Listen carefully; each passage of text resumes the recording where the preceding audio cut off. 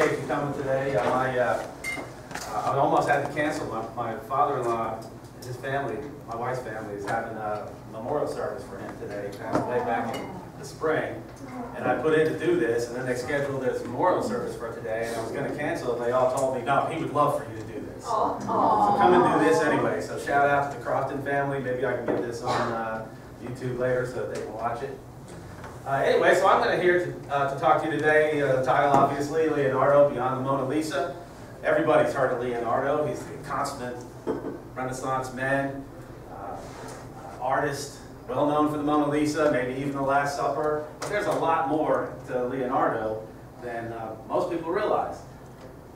Uh, he, this, this is a picture of him from the painting by Raphael in the Vatican called The School of Athens, which is interesting. He's pointing up. They use Raphael used Leonardo as a model here, uh, which is typically pointing toward the heavens, which is an Aristotelian kind of approach to the world, where everything comes from the heavens, where Leonardo was very definitely uh, a, a, a man who well, let's see how this works. Page, there we go. Uh, who was down to earth. Uh, here's that painting. It's a very large painting. This is a doorway where you come into the room. Uh, it's absolutely spectacular. So there's Leonardo in the middle. And uh, like most of the things in this, topics in this uh, presentation, just going to scratch the surface. Uh, this painting by itself is worthy of, of probably an hour-long discussion. But that's not what we're here for. Uh, Leonardo, this story takes almost it takes place almost entirely in Italy. Uh, Leonardo was born in a little town outside of Florence called Vinci, hence the name Leonardo da Vinci of Vinci, which is right about here on the map. Uh, so some of this is going to take place in Florence. Some of this uh, story is going to take place up in Milan, where he went to work for the uh, Duke of Milan. And, uh, and so I'm going to also show you some close-ups of this map. The first one's going to be right around here, uh, Florence and the surrounding area. Uh, then he, he's going to have moved and done some activities in what's called the Romagna. And uh, my pointers there. So the Romagna is uh, the area southeast of Bologna, down uh, through here around San Marino. I'll show you a close-up of that map. Uh, later on in his life, Florence uh, was at war with Pisa. The Arno River runs uh, out of those mountains and from Florence it makes the Mediterranean at Pisa. It's a navigable river and it was a primary means of trade for Florentines. So we know we think about Florence and its role in the Renaissance. We think about maybe the Medici and the money and the banking, but all that also came along uh, with trade. So when they were uh, at war with Pisa and Pisa cut off access to the Mediterranean, uh, that, that uh, had a big influence on the Florentine economy of course, who comes to the rescue, uh, Leonardo attempted to. So this is the area, a close-up uh, inside. See, it's not very far. There's the scale right there. There's a mile. Uh, there's Florence, and Vinci is a little town up here in the hills. And uh, my wife and I were there in May, and uh, one of the things I wanted to do was go visit Vinci. Uh, because that's what nerds do when we go on vacation. and uh, thank you. You know you have found the right one for you when she's completely on board with this idea. Uh, so, when, because it was, it wasn't a mess, but it was a challenge. I don't speak much in the way of Italian.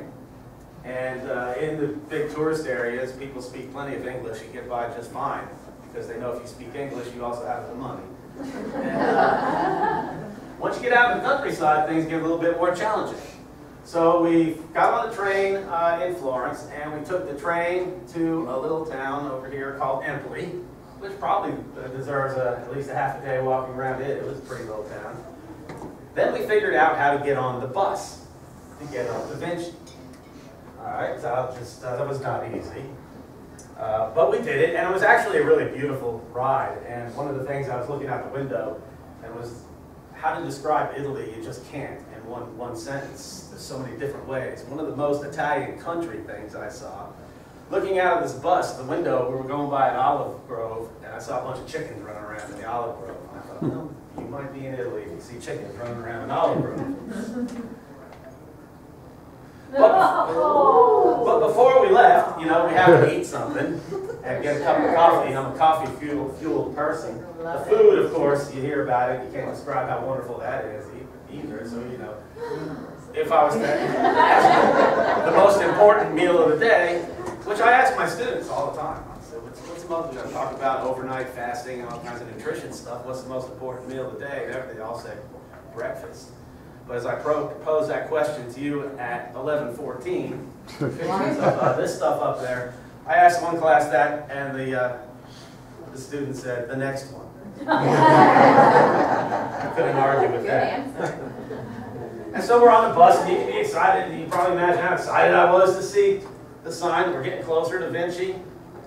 And uh, this is, I didn't take this picture, this book is, uh, that co- off the cover of this book here I got uh, while I was at the museum there. But Vinci's just this beautiful little town set in the, in the Tuscan countryside. Uh, Probably, I think I read they have like 1,500 residents, so it's not very small. Uh, Nearby, this is the church that Leonardo attended when he was a child, and that was kind of cool to walk in there. And this is the actual baptismal uh, where he was baptized as, uh, as an infant. And then what we did is uh, we took a hike up to uh, his, his uh, birthplace where he was born, his, his house. Uh, and you could drive up there, but we didn't have a car. And they said, this is a pretty little walk. And so here's the trailhead, and it was about a mile. And uh, this is part of the, part of the, what's this? You can learn anything new in the middle of this.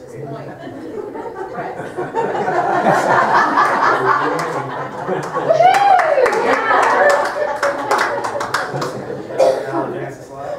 But the fun is there. All right. Hey.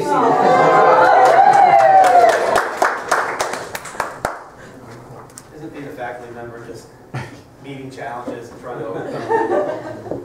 And so we walked uh, through these woods, and as we were walking through these You got woods, the of course, clicker we too? pictured in our minds Yeah, I uh, wanted fair maidens was and knights on horseback, and then I realized, you know, Leonardo probably walked through these very same woods. And we're still talking about him 504 years after he, after he passed away. Let's see what happens when I press this button. I think I have to. Click plug- or you gotta turn it on. I have to- No, no, I can do I have to that. plug in for your laptop. No, no, no, go ahead, I'm. Go ahead. So this is the little house that he was born in. That's good. There's not another. Yeah. Yeah, it won't work, uh, just the top one. Just the. Yeah. You have to plug it in your, Hi, family, this is what we go through all the time. no, just hit. This is the house, this is the house where he was born. It's a, it was a beautiful, wonderful walk up there, a little warm. Um, And uh, now let's see if this works. It didn't, uh, didn't have sound. No, on he used a laptop. But uh, this is a Yeah, so I have Very to plug in his house. laptop. Oh, He's already had one plugged in, so there's no USB. No other extra, okay. If you get out of presentation mode, We hear. Good lord. Why, why, why, why would I see this? story There you go. Oh, no.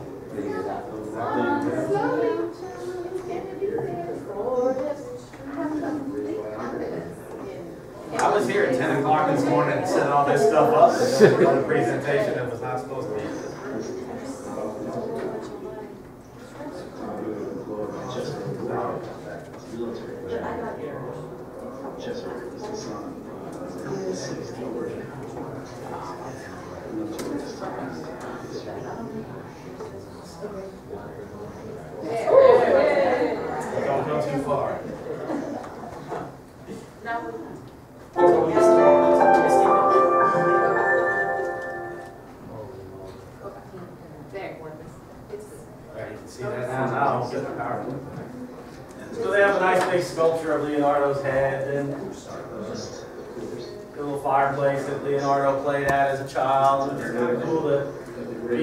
place and sort of feel some of the vibe uh, that, that he had. And uh, so we'll just uh, stop that since story the time thing again. Now what? Why is this like this? Oh, yeah. Didn't do that to me before. Oh, there, there, there. Go to presentation. Go presentation. Here? There. There. There you go.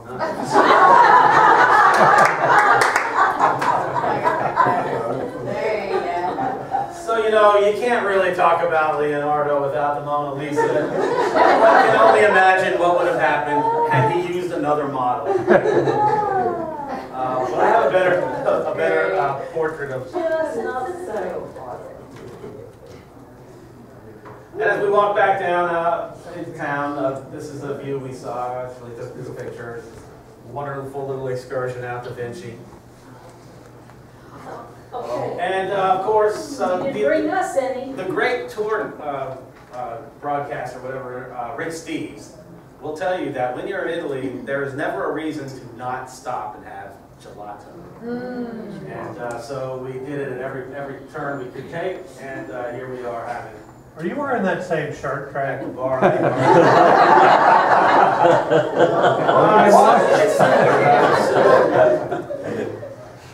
So uh, when, when Leonardo was a, a young boy, about 12 years old, he was uh, sent. His father uh, sent him to. I guess I should have told you. Leonardo was born in, in uh, 1452. His father was uh, a notary, so not real wealthy, but not real poor.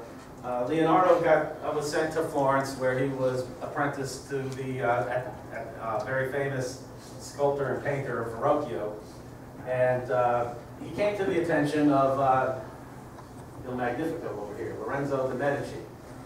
Nothing happened in Florence between 1400 to 1500 without the Medici involvement, the original godfathers.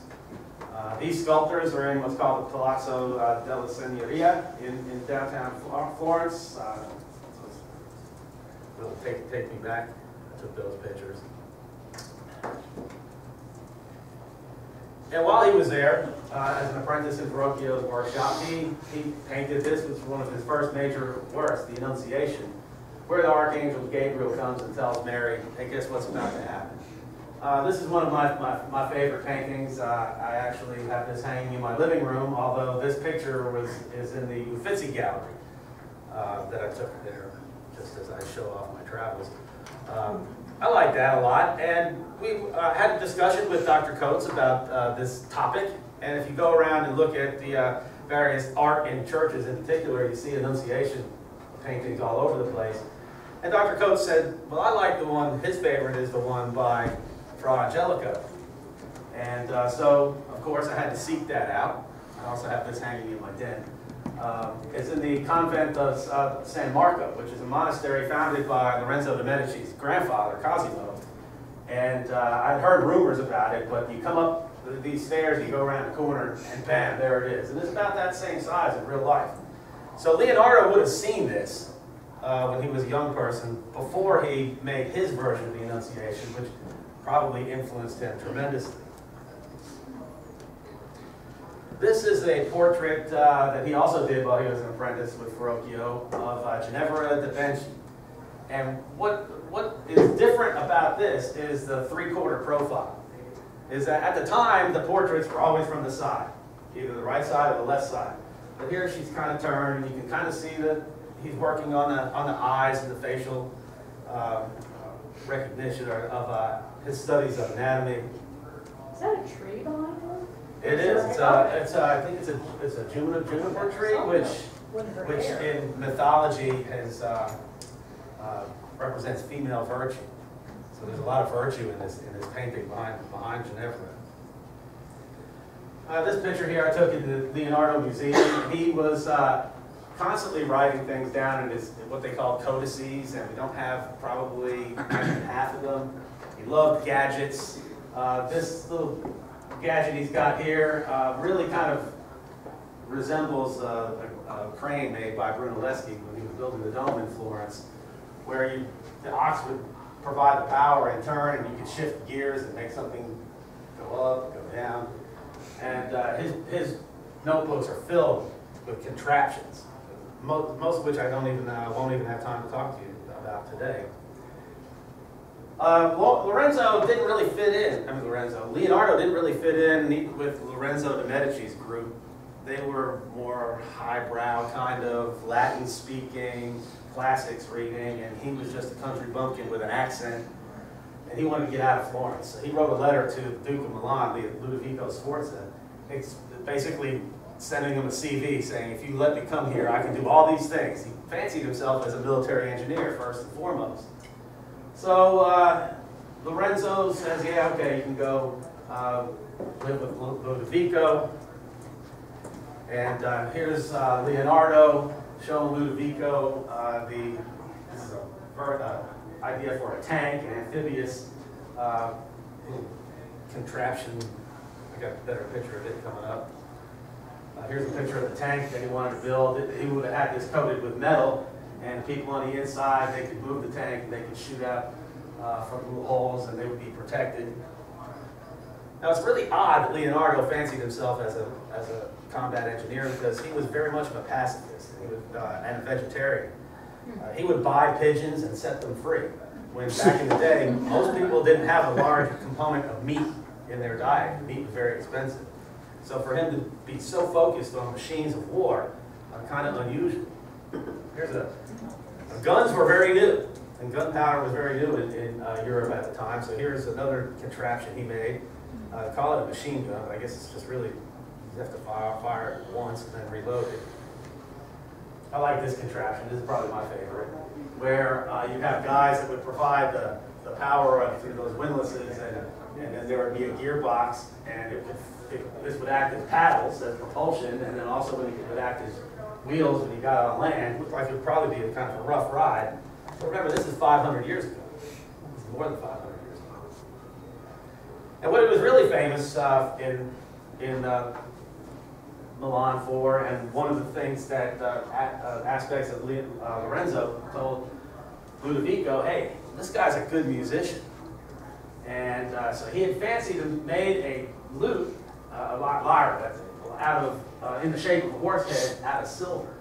And allegedly, he could play it, uh, and it would just be magical sound. So instead of building more machines of war for Ludovico Sforza, what he really did was play music, uh, make decorations for parties, and uh, basically was uh, the, the, the court, uh, not, not jester, but he was, uh, he was the entertainment, which really he didn't like. Uh, one of the things that uh, Ludovico commissioned Leonardo to do was to build a monument to Ludovico's grandfather, Francesco Sforza. And it was supposed to be a, a, a bronze horse with a rider 21 feet tall. He never got to build it. This is in Grand Rapids, Michigan. Uh, it's all right. Have you ever seen it? No. Was actually there? Oh, is, is that Frederik Meijer Gardens? I think so. That's why I haven't seen. Anyway, so he got, they got all the bronze and uh, needed for the project, and he was working on the way they make bronze uh, sculptures. He had to do all this other stuff to, to make the mold and everything. And just as he was getting ready to uh, start working on it, uh, uh, the French king Charles the Charles VIII decided he was going to come down and take over Milan, and uh, so they turned the bronze from the sculpture into bronze for cannons. And Leonardo never really got over that. That, that really, that really uh, upset him. What it was even worse is his model that they, he was using as a mold. When the French troops got there, they used it for target practice. Uh, Leonardo wasn't there at that at that moment uh, because everybody that had uh, uh, any sense about them took off. Uh, the the French military was different. In Italy, the way the wars were fought is that there wasn't very few standing armies. The local cities that were fighting with each other would hire mercenaries under the command of a condottiere, a, a mercenary general, and they would basically ride around on horseback, and walk around out on the field, and look at each other like a chess match. And when it was somebody was in checkmate, then they would just leave. They had no interest in killing each other. Uh, as opposed to the French who came down with their brand new big cannons and they just were very brutal. So people fled Milan when that happened. Another thing that, that, that uh, Leonardo did accomplish while he was in uh, Milan was in the church of the Santa Maria delle Grazie, he painted the Last Supper. Leonardo's an engineer, he's a sculptor, he's a painter. Uh, I unfortunately have not seen this picture yet. Hopefully I will in January, but I took this picture, it's on my wall in my living room. Uh, one of the pieces of work that would have influenced Leonardo in his painting of the Last Supper is also a, a work in the, the uh, monastery of, of San Marco. Uh, this, this work here is done by an artist named Ghirlandaio, another very famous high-demand uh, artist. And so this would have been a couple of years before Leonardo painted his. And he most certainly would have seen this and another Ghirlandaio Last Supper across town. Uh, and what Leonardo's version is a little bit different. You can always, you see John over, over here asleep. Uh, you see, you can tell Judas because he doesn't have the, the halo. He's oftentimes depicted on the other side of the table uh, from the others. And these are very good painting. When I was in San Marco, I actually forgot it was there. I came downstairs from where the Annunciation was. And it takes up a whole wall. Leonardo's version uh, not, not only being more uh, very colorful, but uh, his hands, there's a lot more energy, there's a lot more action going on in this painting. Uh, I read a book, uh, this is one of my, uh, one of my references here, Leonardo and the Last Supper. There's an entire chapter in this book on the hand positions. And uh, if you were at the Math and Science Division meeting the other day when I was talking about uh, a Golgi, I was doing a this, so with my hands, you see, I'm actually speaking Italian, but with the hand motion, you can, you can understand what I'm saying. And, and the Italians, of course, are very much known for uh, their hand positions. Uh, here in this painting, we have Judas here. He's kind of reaching for the bag of gold. Jesus is reaching for, what is he reaching for? A piece of bread, maybe? Uh, and just as one, this one here, one of the most famous uh, hands, fingers in all of uh, history, uh, Doubting Thomas. He's pointing up, he's saying, This is not me. These people are over here. Like, No, it's not me, it's somebody from over there. And of course, John's asleep again. Or is that Mary? I would have to refer you to Dan Brown's version for the answers to those questions. In, uh, during World War II, the Santa Maria delle Grazie refectory where the Last Supper was took a direct hit from an Allied bomb. Uh, in this other book here, another reference, Saving Italy, thank you, Dr. Coates. Uh, fascinating book. Uh, this is where these, these next two pictures came from. Uh, the Allies took great pains to try and preserve cultural treasures in Italy. Uh, and uh, we can see that what they did is they had sandbags and mattresses boarded up uh, in Florence. They made concrete domes over Michelangelo's uh, uh, David statue. Uh, they hid the paintings from the Nazis who uh, were very much interested in acquiring the artworks by any means possible, otherwise known as looting. And so the refectory took a direct hit. And we can see how close this came, uh, we came to not even having this work anymore. It's behind all that, that scaffolding, they, they put a tarp over it uh, to keep it protected from the rain for a little while while they cleared the rubble and rebuilt the monastery. Then uh, he runs into the employ of a guy named Cesare Borgia. Now, uh, after the Milan incident, Leonardo went back to, to Florence, and uh, the Florentines sent him to work with uh, Cesare. Basically, the Cesare Borgia was the son of Rodrigo Borgia, became Pope Alexander VI. Uh, very notorious, uh, there's not any not notorious time. But, uh, so the question, of course, is how does somebody who is a Catholic priest, bishop, cardinal, then pope have children? It was common in the day. Uh, and Cesare had, uh, uh, and the Pope had, had designs on that area of Italy, the Romagna, just southeast of Bologna. I'll show you a map in just a second. And uh, he wanted a military engineer, and he wanted Leonardo. And he told the Florentines, basically, send me Leonardo. He told them, I'll be your friend or I'll be your enemy. The choice is yours. And Florentine, the Florence didn't have a standing army. They were terrified of Cesare, so they sent Leonardo uh, to work in his employ. Cesare was often described as the most handsome man in all of Italy, which changed in 2019 when I went there for the very first time. and I told my wife, Cesare is no longer here. I am now the handsomest man in Italy. And she said, Yes, honey, of course you are. So this is the area, here's Florence again, Pisa over here, and this is the area where uh, Cesare and his armies, uh, he had French support as well, and uh, marched up from Rome into the Romagna, and his first stop was in this little town here called Urbino. And Urbino was, time was ruled by a guy named uh, Guido Baldo de Montefeltro, I just like this. And uh, Cesare said, hey, I need some help. Can you send some troops to help me at Chisan? And uh, the, the Duke, he said, Guido Baldo said, yeah, sure, I'll send some troops over there to help you. And so while the Duke's troops were up here, Cesare snuck in and, took over Urbino. And uh, he was known by, to, to get his, achieve his goals by any means possible. While he was in the castle in Urbino, Florence sent a, uh, sent a, a delegation to talk to Cesare to find out exactly what he was up to. And that, that, that uh, one of those envoys was a guy named Niccolo Machiavelli, who was very famous for writing the book The Prince and the phrase, the means justify the ends, or the ends justify the means. And it's, it's the main influence of Machiavelli for the prince was Cesare Borgia. So that's, that's how Cesare Borgia operated, by deceit and lies, and you could never trust him. Along the way, go back to my map. So he came out of Urbino and he starts taking over the towns of, of the Romagna, uh, and he gets to Forlì.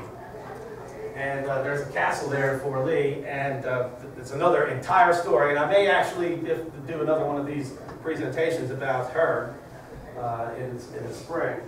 Uh, Caterina Sforza. Caterina Sforza was the, the niece of Ludovico Sforza, in Milan.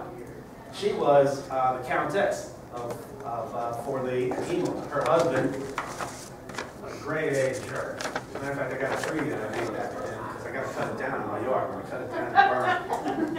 Her husband was uh, Girolamo Riario. Anyway, he was a bad, bad guy.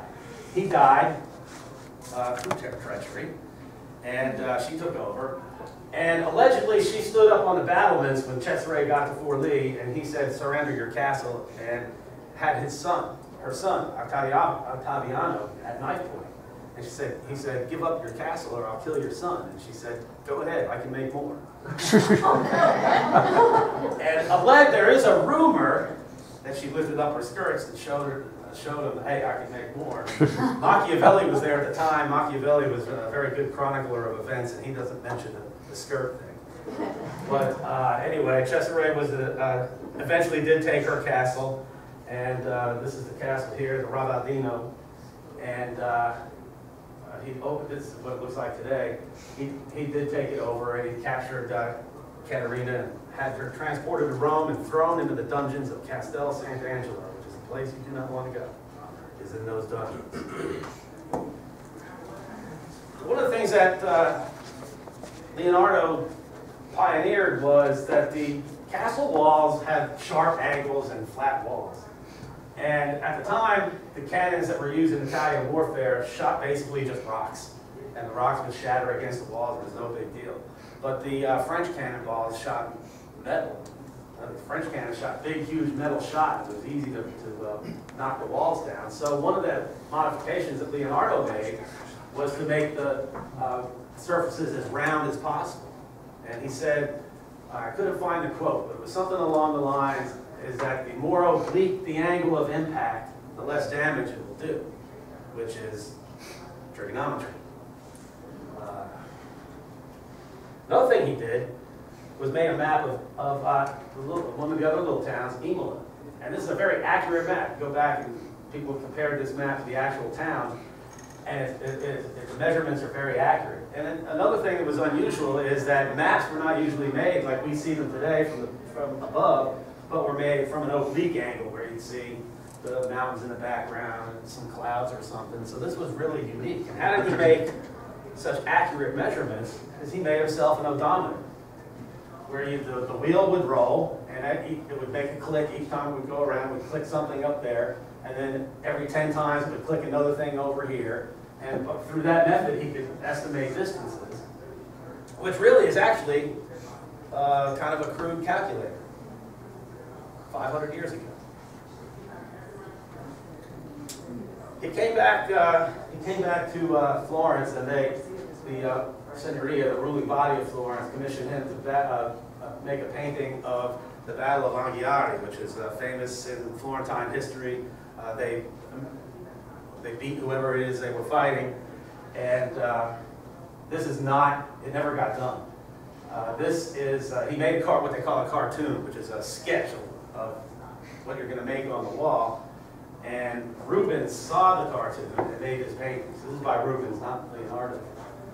But uh, he made this after he saw the war and what Cesare was doing in the, in the Romagna, and he hated it. Uh, And so it's interesting that he would make a painting about a scene that he did not like, warfare, before he went to go work with Cesare, before he had ever seen actual war. Uh, he came up with this, that he, he wrote in his notebooks about how to, how to depict this in art. He said, if you show a man who has fallen onto the ground, you must depict where he slipped on the dust, which now has been turned into mud by the blood. You must show the tracks of the horses and the men who have passed over this blood-smeared earth. A horse will be dragging behind it the body of its dead rider. Men fleeing a rout will be shrieking through their open mouths. The ground must be littered with all kinds of weapons, broken shields, lances, stubs of shattered swords, and other things. There could also be a riderless horse plunging into the enemy, its mane flying into the wind, inflicting severe wounds with its hooves, or maybe a wounded man lying on the ground trying to protect himself with his shield, while his enemy leans over him, trying to deal a killing blow with his sword. Be sure not to leave a level spot which is not been trampled with blood and gore. And he wrote that before he actually even saw uh, real warfare. So this, uh, this painting didn't get made, unfortunately. And then there was Machiavelli. So Machiavelli was traveling around with Cesare and Leonardo during uh, Cesare's campaigns in, in the Romagna, which would have been uh, around 1502, 1503. Uh, he was reporting back to Florence about the activities of Borgia, spying on them, if you will. His, uh, communiques would get intercepted. Some of them wouldn't make uh, make it all the way back to Florence. Um, but they would have been both Florentines and around the same age. Leonardo was a couple years old, uh, uh, older than, than Machiavelli. They most certainly would have known each other. They certainly would have known each other while they were in uh, Cesare's employ. And Cesare had a high, a very high uh, opinion of Leonardo, where he wrote a, a pass, you know, just couldn't just wander around the countryside back then. Uh, he said, to all our lieutenants, this is from Cesare, this is uh, Leonardo's passport. To our lieutenants, castellans, captains, condottieri, officials, soldiers, and subjects who are presented with this document. Our most excellent and most dearly beloved friend, the architect and general engineer, Leonardo da Vinci, the bearer of this pass, has been commissioned to inspect the buildings and fortresses of our states, so that we may maintain them according to their needs and on his advice. Furthermore, we order and command the following. All will allow him free passage, exempt from any public tax, or charge either to himself or his companions, and will welcome him in a friendly fashion and allow him to inspect, measure, and examine anything he wishes. And to this effect, he will provide him with any men he requires and give him any help, assistance, and favors he asks. It is our wish for any work to be carried out within our states. Beforehand, each engineer required to consult with him and conform to his judgment. Let no man presume to act otherwise unless he wishes to incur our wrath. And he did not want to incur the wrath, wrath of Cesare Borgia. So there's nothing about painting in that description. How well they knew each other, how friendly they were, the influence on each other. Uh, there's questions uh, about that. There is another other quote here. To- Uh, Leonardo talks about science, but then Machiavelli probably was arriving at his own conclusions about the same time. Where Leonardo was looking for explanations about the natural world, Leon, uh, Machiavelli was looking for explanations on how people act and how politics works. And so this, uh, this uh, short quote here uh, reflects a little bit about uh, both of them. our, all our knowledge has in its origin